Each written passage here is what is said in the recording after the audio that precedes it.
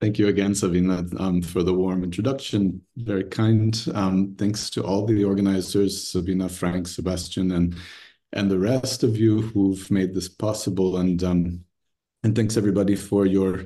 for your patience um, putting up with me over Zoom at the end of a busy day. Um, it's uh, giving giving me flashbacks of uh, the period when we were all on Zoom all the time, um, and thankfully we're doing a little bit less of that these days. So, um, with no further ado, I want to launch into the talk. Um, and as Sabina mentioned, um, the title is From Border War to Civil War, Populism, Fascism, and Authoritarianism. There's been an unmistakable global resurgence of openly and unabashedly authoritarian politics. Importantly, this is not merely a matter of right-wing political rhetoric, or even exclusively a matter of right-wing extra-state political violence, but also state practices of rule that have involved flagrant campaigns of state violence and political repression, as well as calculated policy interventions designed to erode or subvert many of the most elementary features of democratic proceduralism and the rule of law. The examples are numerous and multifarious,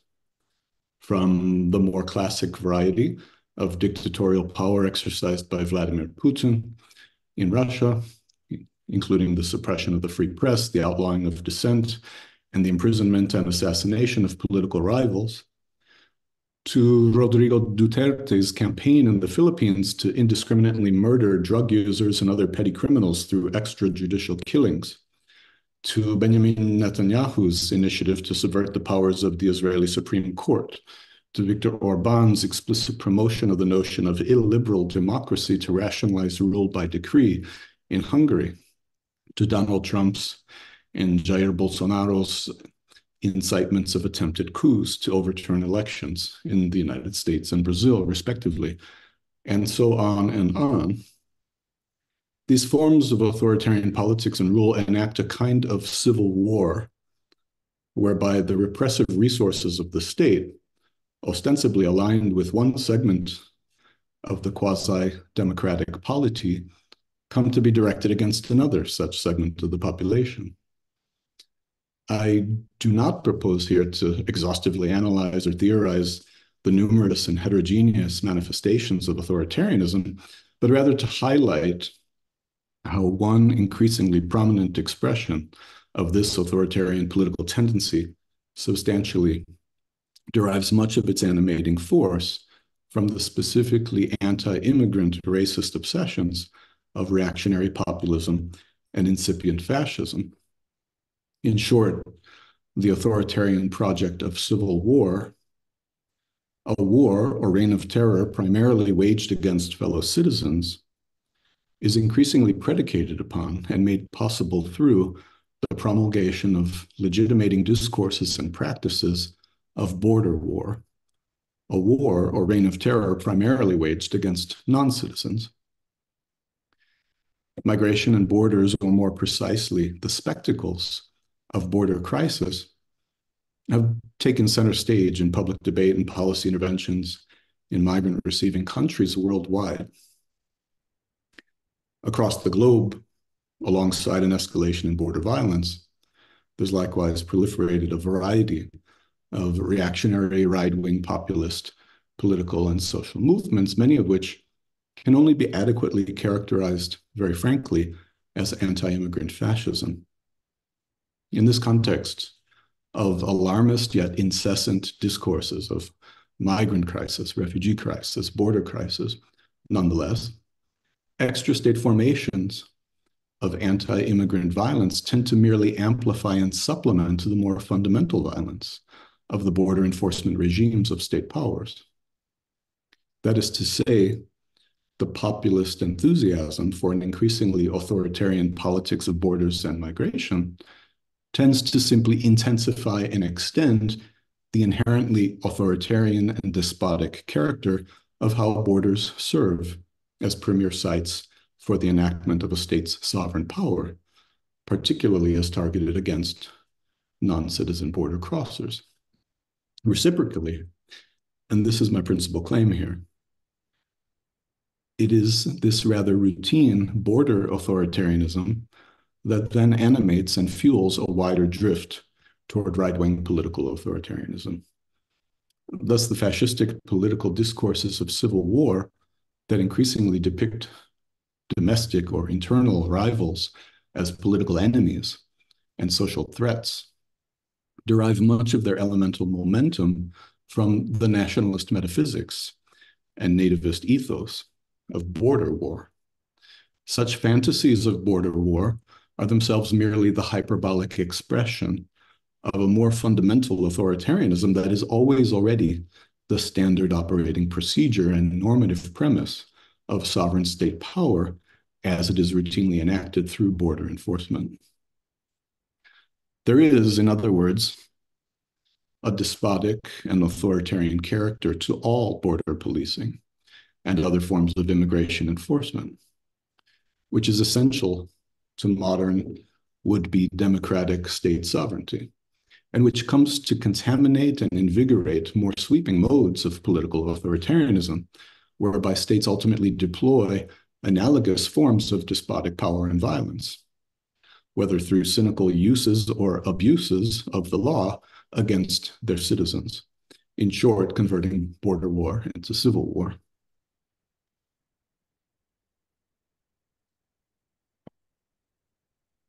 As Giorgio Agamben notes,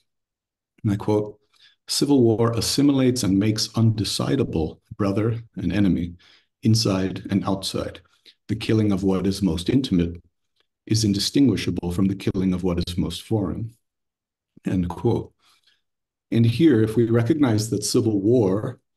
is the conceptual opposite of what we might call civil peace, then it is instructive to recall Michel Foucault's hypothesis in society must be defended. That, and here I quote again, politics is the continuum of war by other means. As Foucault explains, and I quote, the role of political power is perpetually to use a sort of silent war to reinscribe that relationship of force and to reinscribe it in institutions, economic inequalities, language, and even the bodies of individuals. Consequently, even when we are writing the history of peace and its institutions, he contends, we are in fact always writing the history of the, that same war. Uh, thus, it seems plain that authoritarian politics is a kind of reassertion and escalation of that same war, a partial retreat from the effective silence of that underlying relationship of struggle and submission into a more noisy, boisterous, and unabashedly belligerent disposition of power and repressive violence targeting one part of the putative polity, or indeed several subsections of that supposed polity, to reinscribe and reinstate the larger configuration of domination over a state's ostensible citizenry. To offer just one illustrative example from the case of increasingly forthright authoritarianism that I happen to know best, that of the United States, where I was born and have spent most of my life, where I currently live, and where I am most directly implicated politically as a citizen, and indeed, more meaningfully and more accurately, as a denizen, I call your attention to the current electoral campaign of Donald Trump. And as I should add, although my examples will focus on the United States, I think that they will resonate with examples from other contexts, and that is what I hope will be generative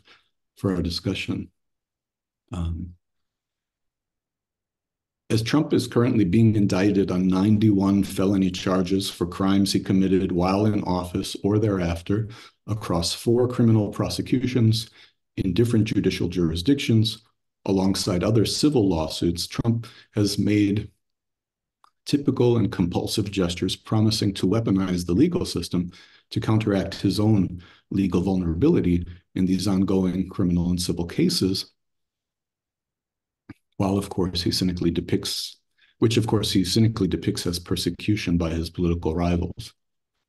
In a campaign speech delivered on November 11th, Trump, that is to say, just a few months ago, uh, Trump openly declared his intention, if reelected, to deploy the legal apparatus of the US Department of Justice and its police powers to punish his political opponents and critics, and to purge the government of officials and civil servants whom he suspects of being insufficiently loyal to his authority. Just a few days prior, Trump's legal advisors had been exposed for drafting action plans to prosecute Joe Biden and other government officials and public figures who have been prominent critics, including several of Trump's own former highest level political appointees who have subsequently denounced him. He's even declared that his most outspoken critics in the military should be executed for treason. Moreover, Trump has also announced his plan to prospectively invoke the antiquated Insurrection Act, which was first enacted in 1792 and last updated in 1874 to invoke this antiquated Insurrection Act on his first day in office, to authorize himself to deploy the military against citizens engaging in protest demonstrations, thereby circumventing the legal prohibition against using the military for domestic law enforcement. The Insurrection Act is among the most potent of the US president's emergency powers, in part because it is also among the most susceptible to abuse. With the criteria for such a deployment of military force, or in the letter of the law, or any other means, military force or any other means against civilians, stipulated in vague and archaic terms, based on outdated assumptions with virtually no constraints or oversight, neither from the legislature nor the courts, and once deployed with no specified limits on what actions may be taken. Not only does the act authorize the president to deploy the U.S. armed forces to suppress civil unrest or quell domestic violence, it also allows for the deployment of the militia, quote unquote, defined very broadly and vaguely to include a wide swath of able bodied armed men. Simply put, the act effectively permits the president to deputize any sort of fascist armed gang that he deems to be loyal to him to participate in enforcing the state's presumptive monopoly on violence. Indeed, when in office, Trump had already flirted with the idea of invoking this law, most notably in 2020, to suppress the mass insurgency of Black Lives Matter protests against racist policing following the murder of George Floyd. And then, again, following his loss in the 2020 election, when some of his most extreme advisors proposed a declaration of martial law to supervise the recount of voting ballots but he had been reined in by some of his more cautious advisors. Now, however, especially given his determination to subvert his, his own prosecutions and evade his own legal exposure, Trump flagrantly promises to be more daring. Thus, in advance of any actual events that could be likened, however implausibly, to anything vaguely resembling an insurrection, Trump nonetheless is making the authoritarian pledge to avail himself immediately upon reelection of an emergency power to institute a state of exception and to mobilize military force against the civilian population to bolster his power. After these revelations, Trump began publicly promoting these same authoritarian schemes as campaign promises. He unabashedly proclaimed, and here I quote, We pledge to you that we will root out the communists, Marxists, fascists and the radical left thugs that live like vermin within the confines of our country that lie and steal and cheat on elections. End quote, reinvoking his false and thoroughly discredited claim that the 2020 election was stolen from. And here I quote again, they'll do anything, whether legally or illegally, to destroy America and destroy the American dream. End quote. Notably, alongside his well-worn tactic of denouncing his opponents in the Democratic Party as the radical left, Trump also included the term fascists in a rhetorical bid to vacate the word of any substantive meaning, effectively aiming to deflect the increasing use of that term to criticize him by redeploying it against his own adversaries. In a telltale gesture articulating the ethos of civil war, Trump continued, and I quote, the threat from outside forces is far less sinister, dangerous, and grave than the threat from within. Our threat is from within, end quote. Indeed, Trump's discourse is very characteristically and predictably a veritable caricature of the conventional script whereby society must be defended. Nonetheless, the dehumanizing likening of his political rivals to sinister vermin who must be rooted out and by implication exterminated signaled a flamboyantly fascistic rhetorical move, extravagantly conjuring the lurid menace of internal enemies who seek nothing less than to destroy America. When called upon to respond to criticism for these rhetorical excesses, Trump campaign spokesman Steven Cheung merely doubled down with similarly violent language, replying that such critics were deranged and that, quote, their entire existence will be crushed when President Trump returns to the White House, end quote. In the ensuing weeks, Trump repeatedly and brashly boasted that he will in fact seize the powers of a dictator on day one of his second presidency, albeit purportedly only for that first day back in power. The recourse to such an overtly dictatorial posture and such dehumanizing language, with its implicit threat of the extermination of political enemies and its explicit threat of a mass campaign of punitive reprisals, mark an escalation in Trump's vindictive, if desperate, authoritarianism. Importantly, if not surprisingly, these remarks about the existential menace of internal enemies, so-called vermin, who would purportedly destroy the nation, were delivered alongside a concomitant escalation in Trump's anti-immigrant rhetoric, with an analogous recourse to a dehumanizing animalistic metaphor. Trump has frequently likened the putative foreign threat of migrants and refugees to a vicious, untrustworthy snake in his more recent fascistic flourishes of scarcely veiled white supremacism, moreover, Trump declared that, quote, these people are poisoning the blood of our country. Migrants, that is. It's the blood of our country, he added for further emphasis. What they're doing is destroying our country. Admittedly,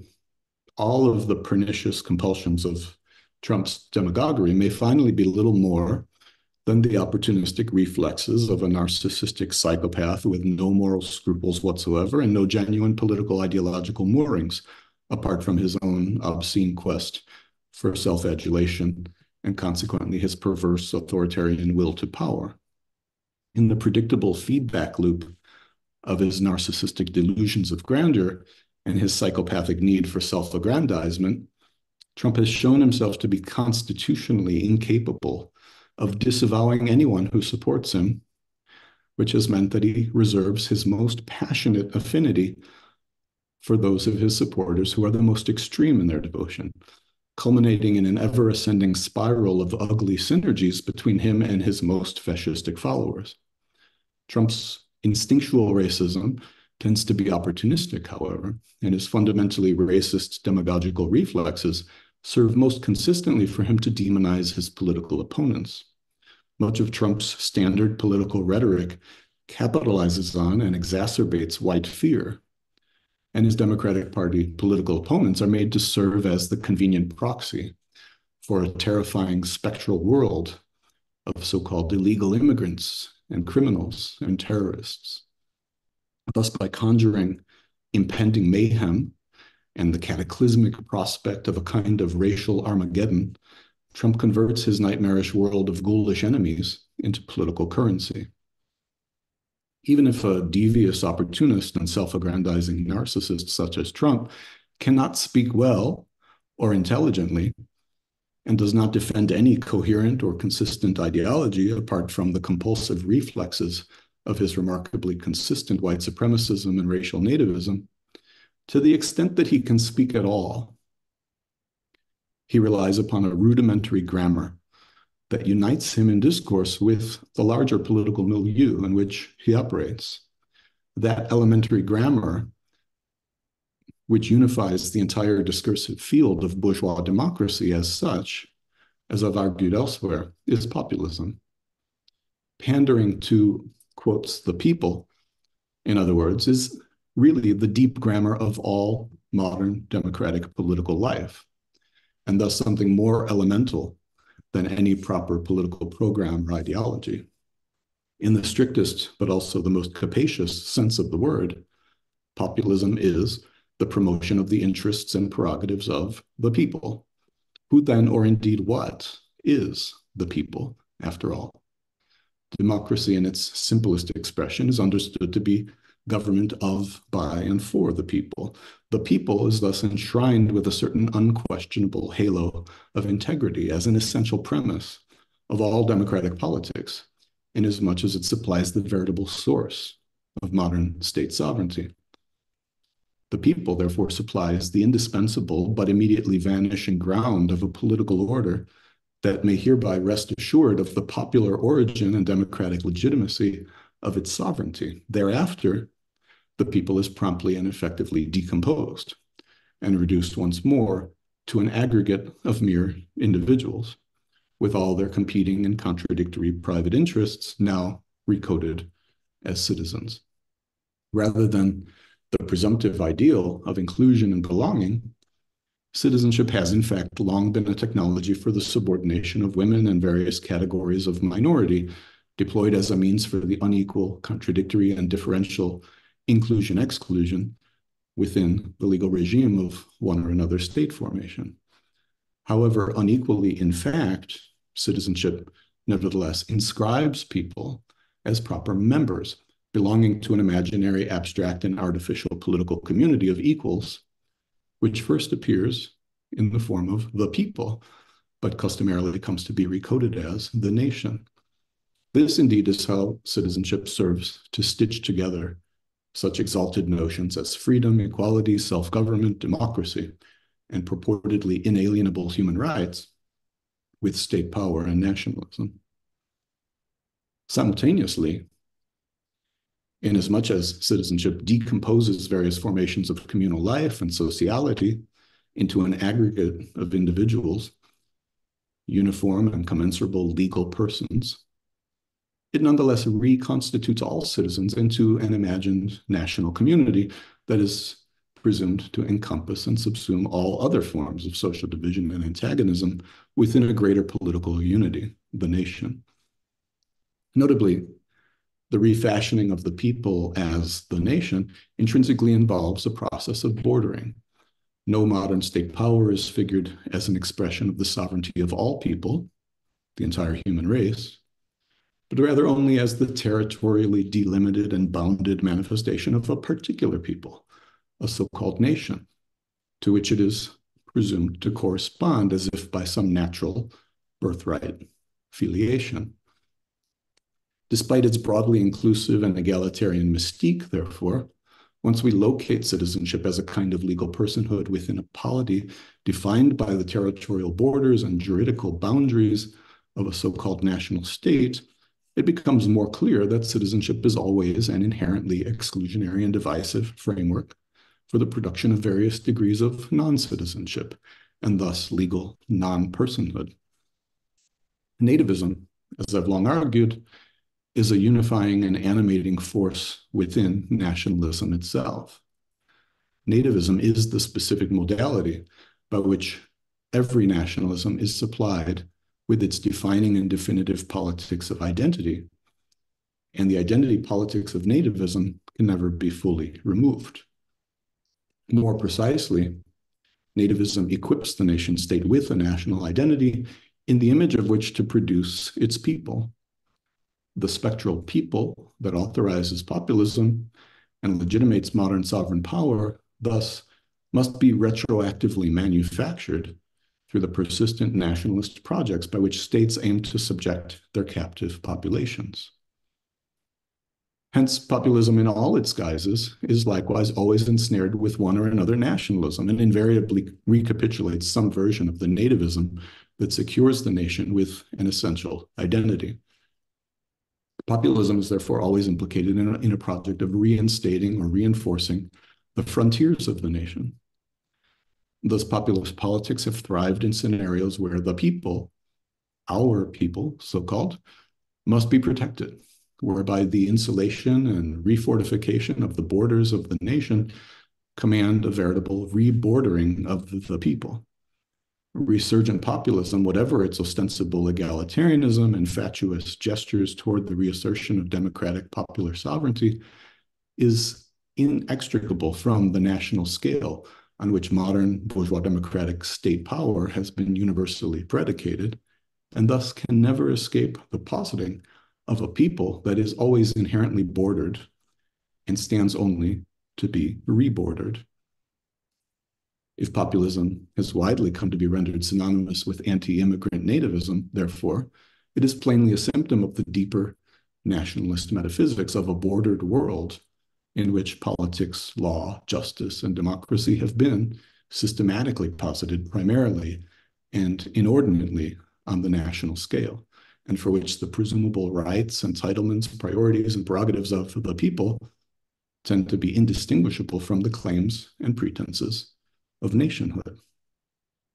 It's precisely through a distinctly reactionary populism that anti-immigrant nativism juxtaposes the people,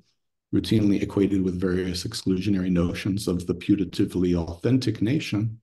with the so-called alien menace of migrant or refugee invasion, a mob of so-called foreign intruders, infiltrators even, poised to usurp the ostensible sovereignty and presumptive patrimony of the people. In this respect, the external frontier of nationhood is always, always operates simultaneously as an internal mechanism for bordering citizenship and alienage within the space of the state.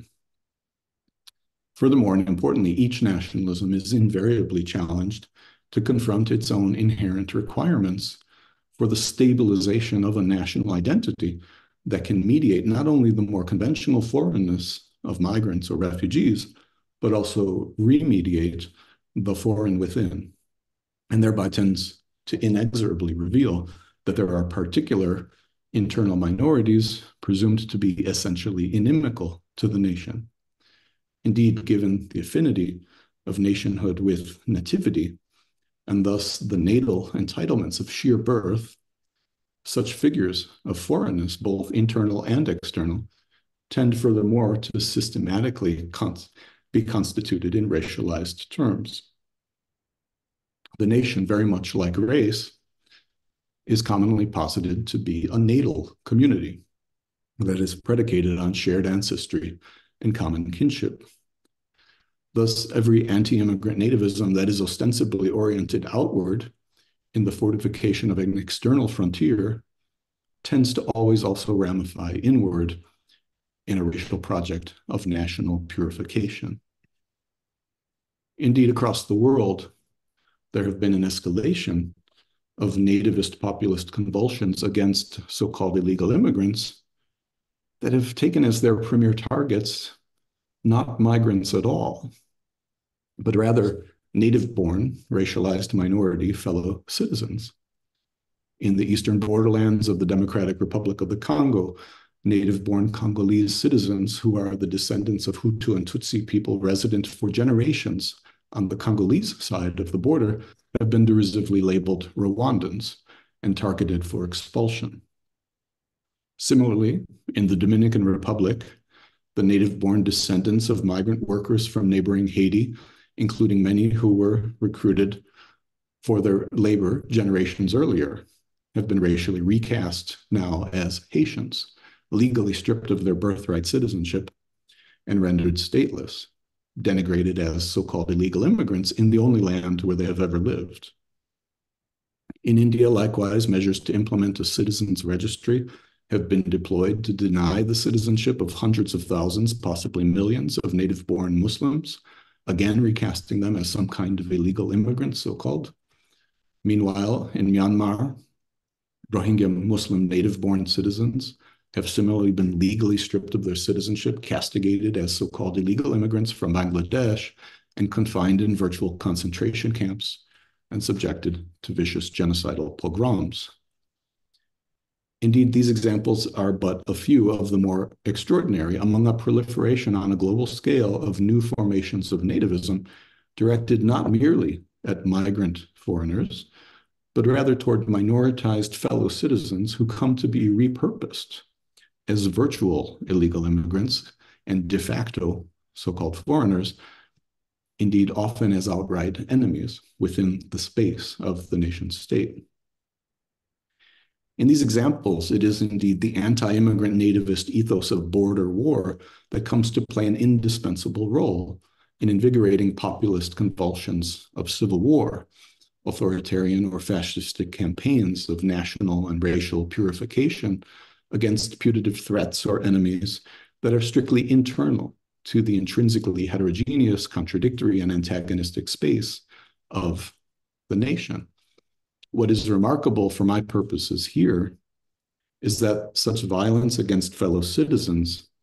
is now so increasingly authorized and legitimated only by rebranding them as putative migrants. Populism has indeed made migration a veritable obsession. This is because despite the sheer brutality and structural violence of border policing on a global scale, human beings continue to prevail in their mobility projects, unceasingly and tirelessly establishing migration as a central and constitutive fact of our global post-colonial present. Consequently, migration is not merely a symptom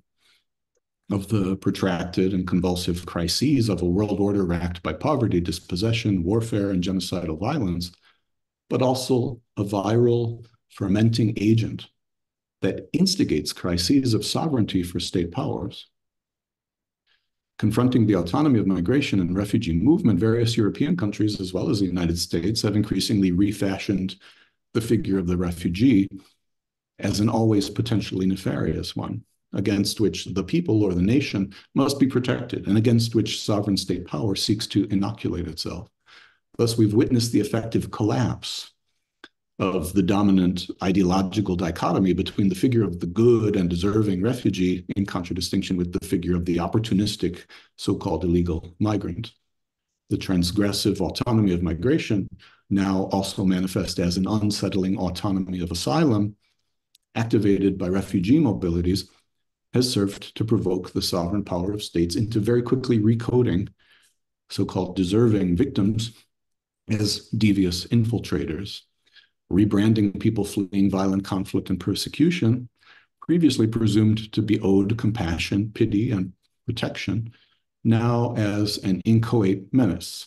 potential terrorists, rapists, and criminals waiting for the opportunity to ambush, attack, and exploit the nation.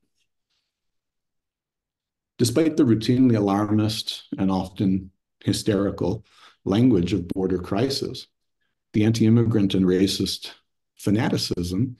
and fascist violence that nativist populism incites, like Nazi anti-Semitism in Hannah Arendt's memorable phrase, is truly and simply an outrage to common sense. And here I'm quoting Arendt,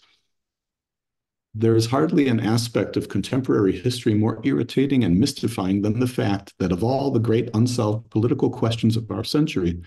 it should have been this seemingly small and unimportant Jewish problem that had the dubious honor of setting the whole infernal machine in motion. Such discrepancies between cause and effect outrage our common sense.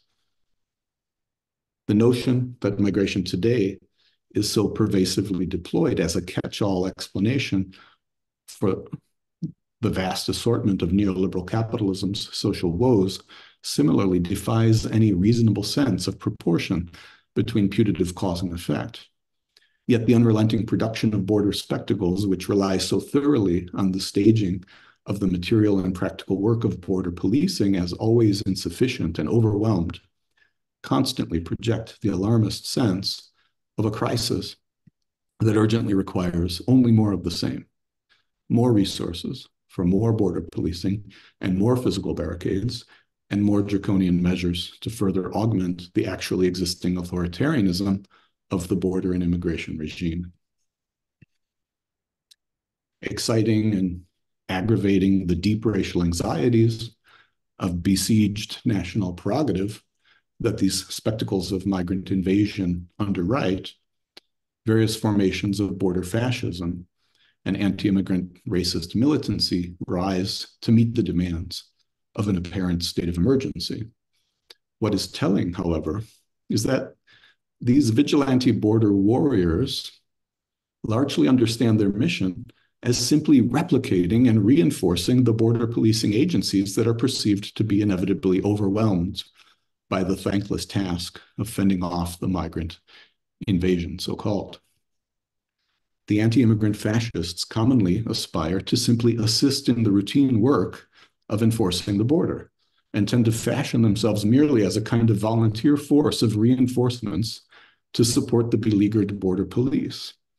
That is to say, these fascistic formations of paramilitary extra state violence ordinarily understand themselves to be merely a supplement to the border regime. Their exceptional extra state extremist violence is frequently nothing more than an amplification of the inherently despotic and authoritarian violence of the border itself. In, in 1977, for instance, the Ku Klux Klan organized an armed militia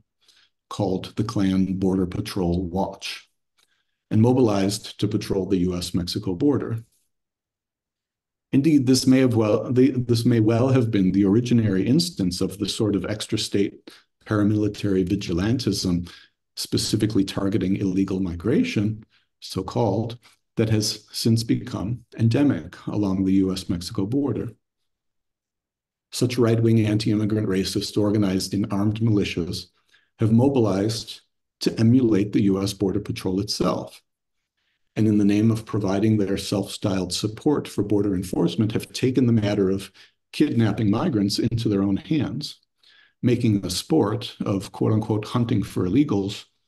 rounding up, arresting, and detaining migrants and refugees, including children, at gunpoint. Such self anointed soldiers mobilized in the defense of the US border against the phantasm of an invasion of illegal migrants plainly predate Trump's rise to political prominence. Nonetheless, anti immigrant racist vigilantes armed with combat weapons patrolling the US Mexico border with general impunity installed themselves as a seemingly permanent fixture of the border regime during Trump's years in office, when their discourse was effectively indistinguishable from that of the US president and the highest authorities of the state. Indeed, the indisputable upsurge in public actions during the Trump presidency and since by overtly white supremacist and avowedly fascist armed militias, as well as so called lone wolf mass shootings and assassination plots by devoted Trump supporters, have merely translated into action what has always been inherent in the unrelenting escalation in Trump's rhetorical animosity toward his perceived foes. Trump's speech has effectively served as both an incitement and a retroactive vindication of the violence of his supporters throughout his political career on no other grounds than that they are his supporters and they are targeting those whom he has overtly identified or who may be implicitly deemed as his, uh, as his adversaries. The attempted coup of January 6, 2021, of course, was the ultimate manifestation of this phenomenon. Importantly, however, some of these incidents of pro-Trump and Trump-incited political violence have been acts of expressly racist or anti-Semitic terror, commonly associated with the notion of an impending peril of border invasion. Whereas Trump's castigation of the specter of so-called illegal migration as an invasion evokes a constant sense of border war, it also authorizes racist hostility against all Latinos, and other racially branded non-white groups, regardless of any particular individual's immigration status or naturalized U.S. citizenship or birth in the United States and birthright U.S. citizenship, and regardless of that group's historical presence in the United States or the longevity of their historical claims to belonging within the space of the United States. Thus, the discourse of border war quickly becomes indistinguishable from something approximating race war. Moreover, the recurring agonistic theme that white racial terror must be perpetrated to quote unquote defend our country against a putative invasion or a hostile takeover by people of color exudes a manifest logic as well as an exorbitant, emphatic, increasingly explicit discourse whereby race war becomes apprehensible as another name for civil war. Abiding by the most elemental logic of war, those designated as the enemy must be destroyed. This indeed is the ethos of civil war. As partisans for Trump and the corrosive ethos of civil war, the most militant of his supporters consequently prepare actively for the annihilation of their enemies. The ethos of civil war obliterates any of the conventional normative distinctions of politics, whereby differences and disagreements can coexist within a civic space of a shared public. In Agamben's terms, civil war as a political paradigm exposes the artifice of the social contract, revealing the intrinsically mythological character of the social covenant that is purported to have fabricated the civic fraternity of citizenship as the foundation of modern democratic sovereignty and properly public life. Thus, adopting Agamben's phraseology, the public mutuality of citizenship is shorn of its mystique in a manner that depoliticizes politics as usual, such that fellow citizens with different political perspectives and different partisan affiliations are no longer mere political competitors in a shared public sphere, but rather converted into outright enemies with whom nothing can remain in common. Meanwhile, the bases of private affinity and allegiance, above all in the United States today, white racial identity and nativist populism, are politicized anew and increasingly appear for many of Trump's supporters to be the exclusive ultimate foundation for politics. By exposing the artificial national family as a fabrication, this ethos of civil war compels the forlorn desire for the impossible intimacy and communion of nationhood as a virtual civic family to retreat into the ostensibly real kinship of blood. The civic nation of fellow citizens and its public are irreparably fragmented. The democratic people is irredeemably fractured, and the so called true nation is now rebordered as race. Thus, the agonistic mission of recuperating and reinvigorating the nation, as in Trump's signature slogan, Make America Great Again, is translated now as a project of crushing internal enemies who would destroy America and foreign menaces who poison the blood of the country. Nativist populism thus becomes increasingly inseparable from a, a retreat into internecine racial tribalism, in short, white nationalism. And white nationalism, invigorated by an ethos of civil war, spells fascism. Whatever may be the variety of competing definitions of fascism, arising inevit inevitably from heterogeneous historical examples, this indeed is one of the decisive hallmarks of fascism the extra state paramilitary organization of armed violence as the self styled popular vanguard of a counter revolutionary nationalist project. Appeals to the ruling elite to rely upon an extra state par paramilitary formation of armed violence to defend or advance their interests and enforce their will, above all in the form of organized attacks against their perceived enemies, has always been a defining centerpiece of fascism as a social movement. It transposes the ethos of civil war into a specific kind of action plan. The mobilization of pro Trump extremists, especially in the form of fascist gangs and militias, simply but ruthlessly pursues the ethos of civil war to its logical conclusion that the political destruction of the enemy should culminate in its physical annihilation. What is truly remarkable, moreover, is that while there has always been while there have, have always been self-styled fascist formations and other violent extremists on the far-right fringes of U.S. political life, these newer fascist gangs that arose during the Trump presidency mobilized to perpetrate violence as an enactment of their fervent allegiance to the man who was actually occupying the office of the US presidency, who has always consistently refused to repudiate them. Thus, Trump's desperate and irresistible compulsion to seek the adulation of the most fervent of his supporters has cultivated a toxic synergy between a rising tide of fascism that is energized by what his political demagoguery enables and his own authoritarian impulses, which are fueled and emboldened by the only partly delusional sense that there is a veritable social movement composed of people authentically ready to kill and die for him. There is then undeniably a mutually energizing and reinforcing symbiosis between a rising tide of overt and explicit fascist movements aligned with Trump and their extra state political violence on the one hand,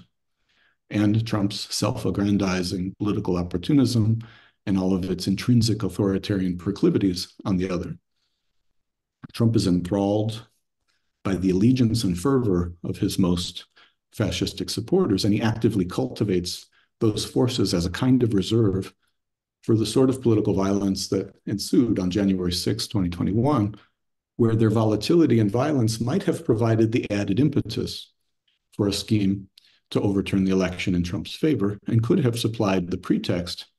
for a variety of more formal quasi-legal measures to enact a coup that would have actually been executed by Trump's administration and his supporters in the Congress and the Senate. But ultimately, Trump has little faith in the capabilities of such ragtag, self-styled paramilitary fascist militias. He does not depend on them and is unwilling to rely on them, at least not yet. In these important respects, Trump's unreserved white supremacist tendencies and his instinctive fascist sympathies and the veritable fascism that is at least tactically aligned with his political power do not amount to Trump serving as the supreme leader and chief spokesman in any simple sense for a fascist, movement. They do not amount to Trump serving as the supreme leader for a fascist movement. Importantly, his prospective retaking of the presidency does not depend on the accession to power of a reactionary mass social movement. It remains an electoral gambit for Trump, although, as we already saw in 2020, an electoral failure will surely not impede him from more desperate measures to disregard and subvert the election's results. Most importantly for our purposes, should he manage to retake the US presidency, he seeks to manipulate and mobilize authorities already prospective, uh, prospectively available to him through the ex executive exercise of state power. What remains to comprehend more thoroughly, therefore, is that is that authoritarian disposition and its distinct political reflexes. As, as we've already seen, Trump now openly announces his plans to aggressively pursue his political aims with renewed authoritarian zeal and malice. His unapologetic and unabashed authoritarian ambition is on dazzling display. It is emphatic and explicit. Trump exudes a disdain for the rule of law, particularly, particularly when it has applied constraints upon his own actions or limits to his own power when in office. Yet he nevertheless fashions himself as the strongman style champion of law and order, whereby the fetish of the law merely implies swift and brutal punishment for those against whom society must be defended, against whom the people must be protected. These authoritarian populist gestures are not new and not at all subtle. Trump's predilection for authoritarian power has been a continuous thread through his entire career in public life predating his entry into politics by decades. Trump's authoritarian contempt for the rule of law and his avowed desire and repeated previous attempts while in office to weaponize the law and the prosecutorial powers of the federal government against his critics are, of course, well documented and well known. In office, Trump repeatedly demanded the political loyalty of the highest ranking officials in the law enforcement, military, and national security agencies of the US state, and otherwise unrelentingly sought to curtail their independence from the mandates of his executive power. He simultaneously installed an enormous number of ultra conservative federal judges in a classically authoritarian mission to domesticate the judiciary and ensure its civility to executive power. Nonetheless, it is precisely by means of the law and the tactical deployment of the legal authorities of the state and its already established powers of legal prosecution and enforcement that this authoritarian impulse devises to exact retribution and mete out punishment. During his first term as president, Trump's utter ignorance of elementary procedures and legal frameworks and his governmental incompetence meant that his highest level appointees, ultra conservative Republicans though they were, were nonetheless institutionalists who often had to present modest challenges and impose obstacles to his most extreme excesses. Many of them subsequently repudiated him as unfit to hold office. Moreover, lifelong professional civil servants frequently presented still more intransigent resistance to Trump's efforts to deploy the executive power of the presidency for improper ends, such as exacting personal vengeance on those with whom on those whom he deemed his enemies or detractors. Consequently, with an eye on returning to the presidency, he now is mobilizing a team of more seasoned and more fanatical lieutenants who share his taste for autocratic power. His current advisors are literally compiling a list of 20,000 tested Trump loyalists who would be promptly installed into key governmental positions in a massive and unprecedented purge of the lifelong civil servants who previously impeded his efforts. Now, my claim here is that a veritably full spectrum authoritarianism is, to a noteworthy degree, being planned and prospectively authorized in a manner that, in its practical implementation, would derive much of its energy from the routine authoritarianism of the border. The rhetoric of border war is, of course, a signature of Trump's politics, and it remains so. When he began to brazenly boast that he will become a dictator, but only on day one, Trump tellingly coupled his pledge to violently repress the domestic protests of citizens with the putative necessity of assuming such exceptional powers in order to respond militarily to an ostensible border crisis provoked by the autonomous border crossings of non-citizens. Notably, despite the utter preposterousness of the notion that the recent upsurge in border crossing and asylum seeking could ever be reasonably likened to an actual military invasion, much less an insurrection, Trump has asserted that the antiquated Insurrection Act authorizes the exceptional measures that would allow him to deploy the military to apprehend migrants at the border and conduct immigration raids throughout the interior. In campaign speeches beginning in September 2023, Trump has repeatedly invoked the example of the militarized deportation dragnet of 1954, known as Operation Wetback. Among numerous other cruelly punitive measures, Trump is announcing plans for a massive campaign of workplace raids and sweeps of public places to arrest literally millions of undocumented migrants already resident within the United States and their indefinite imprisonment in a new sprawling network of border detention camps that he intends to build along the US Mexico border as they await their expedited deportations while stripped of all due process of law. Despite the devious claim that he would embrace dictatorial powers for only one day, Trump's pr prospective recourse to emergency military powers also includes a renewed pledge to build the infamous border wall that he never, in fact, succeeded to build during his first four year term as president, and which could plainly never, never be accomplished in a single day. He also promises to reinstate his previous Muslim travel ban and the refusal of entry to asylum seekers on the spurious grounds of public health emergency measures. Furthermore, in a move that would subvert one of the established provisions of U.S. citizenship as established following the abolition of slavery in the 14th Amendment to the U.S. Constitution, Trump also aims to terminate the birthright citizenship for babies born in the United States to undocumented migrant parents. Thus, he promises a multifaceted onslaught of militarized repression against migrants and also their U.S. citizen children, whereby the use of exceptional powers could become routine features of everyday life. Notably, the leading architect of Trump's immigration strategies and tactics, both during his time in office and currently, Stephen Miller, contends with derisive confidence that all of the draconian measures that Trump's advisors are preparing rely on existing statutes. the plan that he and other advisors are devising is intended to be implemented without any new substantive legislation. Here I quote, Trump will unleash the vast arsenal of federal powers to implement the most spectacular migration crackdown, Miller declares. He portrays Trump's immigration and border plans as a blitz designed to overwhelm immigration rights lawyers, adding, and I quote, the immigration legal activists won't know what's happening. Miller vowed that a prospective second Trump administration would employ, and I quote, the right kinds of eternity, uh, the right kinds of attorneys and the right kinds of policy thinkers, end quote, willing to implement such aggressive and extreme measures. Bottom line, he said, Trump will do whatever it takes. In short, according to this strategy,